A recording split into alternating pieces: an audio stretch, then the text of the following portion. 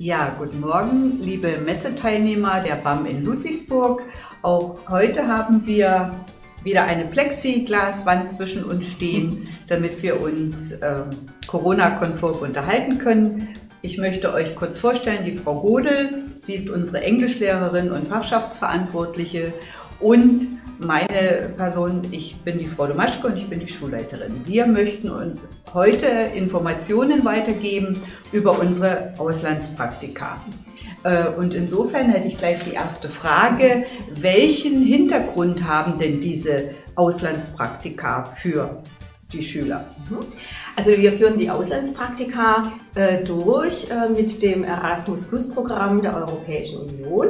Dieses Programm gibt es seit mehr als 20 Jahren und es hat zum Ziel die ähm, Förderung der beruflichen Bildung in Europa der äh, Jugendlichen, der jungen Menschen. Mhm. In welche Länder könnten denn unsere oder fahren denn unsere Schüler? Äh, wir führen die Praktika in Irland durch und in Spanien. In Irland fahren wir nach Carlow, das ist ungefähr 70 äh, Kilometer südlich von Dublin. Und in Spanien fahren wir an, äh, nach Valencia. Mhm. Welche Kosten fallen denn, das interessiert die Schüler ja mhm. sicherlich auch, äh, welche Kosten fallen denn dann für die Teilnehmer an? Mhm. Äh, die äh, EU, das Erasmus Plus Programm, fördert diese Auslandsaufenthalte ähm, und äh, die äh, Förderung für Irland beträgt in der Regel äh, ca. 1000 Euro für zwei Wochen und in Spanien ca. 700 bis 1000 Euro für drei Wochen. Das heißt, es fallen in der Regel Reisekosten und Taschengeld an für die Teilnehmenden. Und welche Vorteile bringt eine solche Reise für die Schüler? Ja, also abgesehen davon, dass es natürlich sehr viel Spaß macht, äh, ins Ausland zu fahren, ähm, äh, haben die teilnehmenden Schülerinnen natürlich äh, die Vorteile, dass sie ihre Sprachkenntnisse anwenden können, dass sie Land und Leute kennenlernen. Sie können zum anderen auch natürlich erste berufliche Erfahrungen sammeln im Ausland und insgesamt einfach Selbstständigkeit und Selbstsicherheit Sicherheit äh, gewinnen durch diese Praktika. Mhm. Zwei Fragen, die die Schüler sicher auch ganz doll interessieren. Wie lange dauert ein solches Praktikum und wo sind die Teilnehmer untergebracht? Äh, in Irland dauert das Praktikum zwei Wochen. Ähm, die äh, Schülerinnen und Schüler sind während dieser Zeit in Gastfamilien untergebracht, die sorgfältig von unserer Organisation vor Ort ausgewählt sind.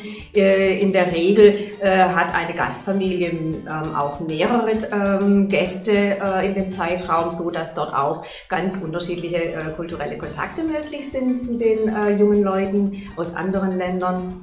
In Spanien ähm, sind die Schülerinnen und Schüler in der Regel für drei Wochen, weil dort ein Sprachkurs vorgeschaltet wird ähm, vor, die, ähm, vor dem äh, beruflichen Einsatz. Ähm, aber auch dort sind die äh, Schülerinnen und Schüler in Gastfamilien untergebracht, die nach den gleichen Kriterien wie in Irland auch ausgewählt äh, werden. Mhm. Viele fragen sich dann, äh, bekomme ich etwas für meine Arbeit im Praktikum? Das ist eine gute Frage, eine berechtigte Frage. Ähm, es ist aber so, dass diese äh, Praktika ja in, äh, in, aller Regel die ersten beruflichen Erfahrungen für unsere Schülerinnen und Schüler sind. Das heißt, sie bringen keine berufliche Erfahrung und auch äh, keine speziellen äh, Kenntnisse jetzt mit für diese ähm, Praktika. Und aus diesem Grund ähm, sind diese Praktika unentgeltlich inhaltlich. Sie ermöglichen unseren Schülerinnen und Schülern ein erstes Reinkommen äh, in die berufliche Welt, ähm, erstes Reinschnuppern in die berufliche Welt und ähm, wie gesagt, äh, aus dem Grund äh, findet da keine Bezahlung statt. Mhm. Arbeiten ist der eine Teil des Ganzen. Wie sieht es dann mit der Freizeitgestaltung aus? Ein ganz wichtiger Punkt. ähm, genau, die äh, Praktika bzw. so ein Arbeitstag in, in, so, in unseren Praktika äh, entspricht den ganz normalen ähm, Arbeitsstundenregelungen äh, in den Ländern vor Ort. In der Regel zwischen 8 oder 9 Uhr bis 16 äh, oder 17 Uhr, je nachdem. Ähm, und äh, natürlich äh, nach Arbeitsende haben die Teilnehmer Wochenende natürlich Zeit zur freien Verfügung. Das heißt, Sie können ähm, vor Ort sich mit den äh, Freundinnen oder Freunden treffen, mit äh, Kontakte knüpfen mit äh, Jugendlichen vor Ort, ähm, wie äh, Sie das gerne möchten. In der Regel finden auch einmal pro Woche ähm, kulturelle Veranstaltungen statt äh, mit den Organisationen oder von den Organisationen ähm, äh, organisiert. und am Wochenende ähm, wird in der Regel ein Ausflug ähm, die nähere Umgebung organisiert. Was ist, wenn äh, Probleme auftreten während des Praktikums? An wen können sich dann die Schüler wenden? Ja, das ist ganz wichtig. Ähm, wir haben ja diese Praktika äh, organisiert mit ähm, ähm, Gruppen oder mit Organisationen vor Ort und äh, jede Organisation, sowohl in Irland als auch in Spanien, ähm, hat äh, Mitarbeiter, die 24 ähm, Stunden äh, jeden Tag äh, zu kontaktieren sind Außerdem fahren natürlich auch in beide Zielländer äh, Lehrkräfte mit, ähm, die auch äh, 24 Stunden äh, Support leisten können, sollte dies notwendig sein. Mhm.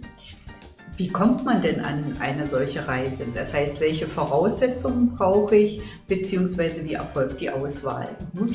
Ja, das, da, dadurch, dass die Reisen ja ähm, zum allergrößten Teil durch das Erasmus Plus Programm finanziert werden, sind natürlich auch bestimmte Voraussetzungen an die Teilnahme äh, gebunden. Ähm, zum einen äh, ist es natürlich so, dass äh, Schülerinnen und Schüler ungefähr 17 Jahre alt sein sollten, äh, um daran teilnehmen zu können und die Sprache ähm, gut bis einigermaßen gut sprechen könnten. In Irland äh, natürlich äh, sind gute Englischkenntnisse äh, Voraussetzungen, in Spanien sind Anfängerkenntnisse des Spanischen Voraussetzungen. Ähm, dann äh, ist es so, dass die, äh, die, die Interessierten einen ähm, Auswahlprozess durchlaufen müssen. In diesem Auswahlprozess kommt es hauptsächlich darauf an, dass die Motivation äh, deutlich dargestellt werden kann. Das heißt, dass die äh, Teilnehmerinnen deutlich machen können, warum sie das gerne machen möchten. Ähm, zum Zweiten ist natürlich auch wichtig, dass eine bestimmte Leistungsbereitschaft ähm, und ähm, Disziplin auch äh, dahinter steht. Was nicht so wichtig ist, sind die Schulnoten. Das Erasmus Plus Programm und wir als äh, Schule, als durchführende Schule, legen natürlich auch besonderen Wert darauf, schwächere Schülerinnen und Schüler zu fördern.